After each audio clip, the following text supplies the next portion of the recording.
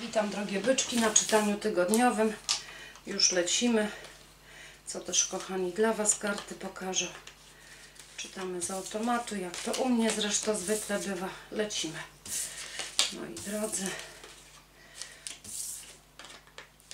Już lecimy. Już leciunkujemy. Jakiż to tydzień dla naszych byczków będzie. Na co byczki mogą sobie pozwolić, a na co nie mogą pozwolić. Obadajmy, zobaczmy, tak?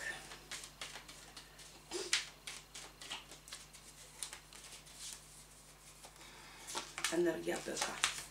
Wychodzę z czymś, ale czegoś nie dostrzegacie. Macie wszystko.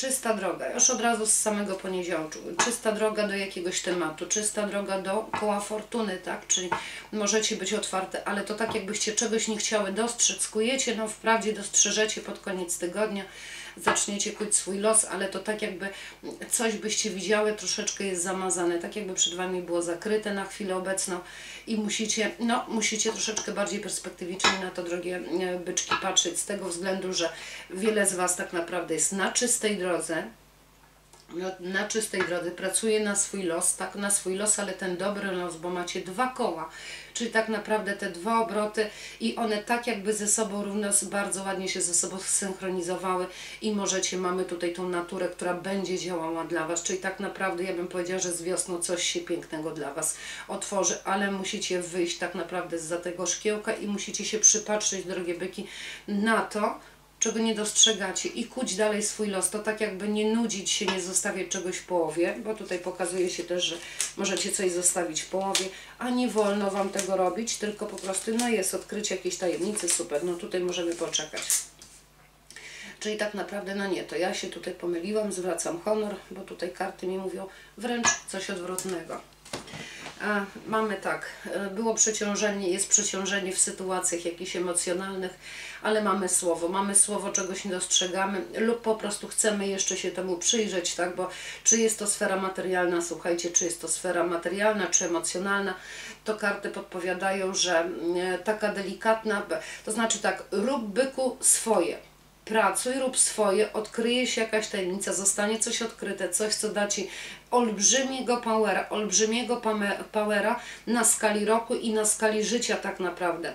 E, myślę, że wiele byków jest zajętych emocjami w tej chwili, nie wiem czemu, a tak mi się tutaj bardzo mocno to zarysowywuje, a karty aż krzyczą byku, zajmij się pracą. Zajmij się pracą z tego względu, że czegoś nie dostrzegasz, czegoś, to tak jakby coś Wam chciało, znaczy los Wam daje na tacy, dosłownie na tacy daje Wam wszystko, a Wy nie tak jakbyście tego nie chciały, jakbyście czekały jeszcze na coś, jeszcze na na jakiś impulsik.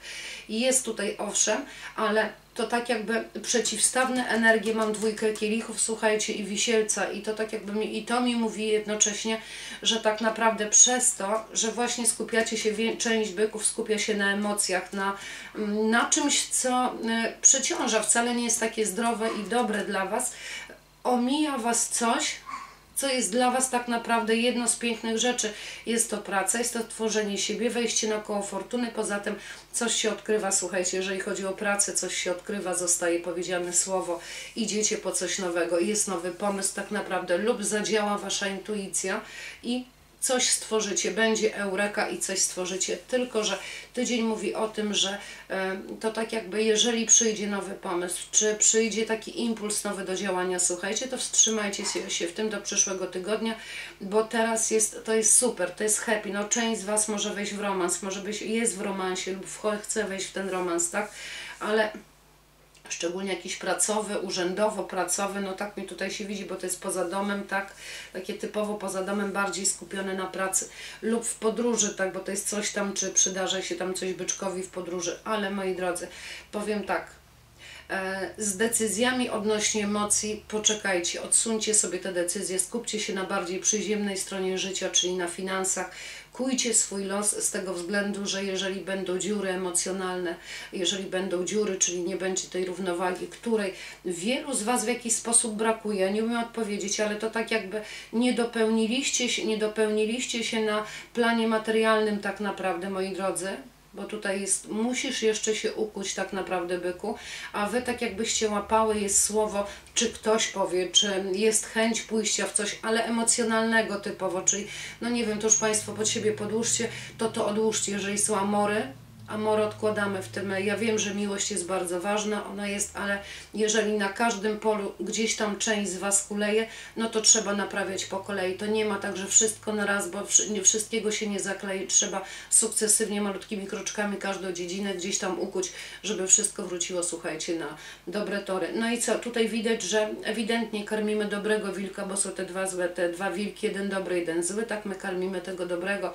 co u Was jest bardzo ładnie pokazane. Tylko dostrzeżenie dostrzeżcie szansę, dostrzeżcie szansę, coś co, coś, co na Was czeka w pracy, w karierze, w wyjazdach, bo mogą być wyjazdy, jest słowo, ktoś Wam coś tak, tak jakby ktoś podpowiadał, czy nawet jak będą pomysły, to już się nad nimi zastanawiajcie, już nad tym, co chcecie zrobić ze sobą, bo to jest tak jakby też po części karty mówiły, że ja muszę coś zrobić tak dla tych, którzy siedzą w nieciekawej sytuacji, chociaż tu nie ma aż takich złych kart, bo macie koło fortuny, tak? Ale ta czwóreczka tutaj kielichów mówi o tym, że tak jakbym w połowie drogi się zatrzymał, zatrzymała, no i teraz nie wiem, co mam zrobić. Kurde, cofnąć się, iść dalej, no nie wiem, nie mam pomysłu na siebie, bo czegoś nie dokończyłem, nie dokończyłam, tak, lub nie chce mi się już tego robić, bo to mnie strasznie przeciąża. Nie, moi drodzy, nie wolno Wam się zatrzymywać w połowie drogi, moi, dlatego, że czeka Was coś fajnego z tego tytułu, jeżeli dobrniecie do końca, ale nie łączcie nigdy pieniążków razem z emocjami, moi drodzy. Tyleż, moje drogie byczki, pozdrawiam serdecznie, kochani. I no, w zdró a, w zdrówku jeszcze Wam nie powiedziałam, w zdrówku, moi drodzy, Panie, narządy rodne, coś tam się, może się tam coś zadziewać. E, jest czakra serducha tutaj najbardziej, jest tam spięcie na żołądku i, niektórzy, i niektórzy, słuchajcie, e, niektórzy mogą mieć tylko i wyłącznie problem, nie wiem, gastryczne, jakieś gastryczne, bo tutaj nic innego takiego mi się mocno nie zapisuje. No i oczywiście wiele pokazuje mi na to, że e, jeżeli chodzi o zdrówko, to tak naprawdę czujecie się wyczerpani lub jest nowa werwa, ale raczej bym powiedziała, że jesteście wyczerpani, bo opiekujecie się kimś z rodziny, kimś bliskim i to Was też po części przeciąża. Pozdrawiam serdecznie, kochani buziaczki. Do kolejnego czytania. Hejpa.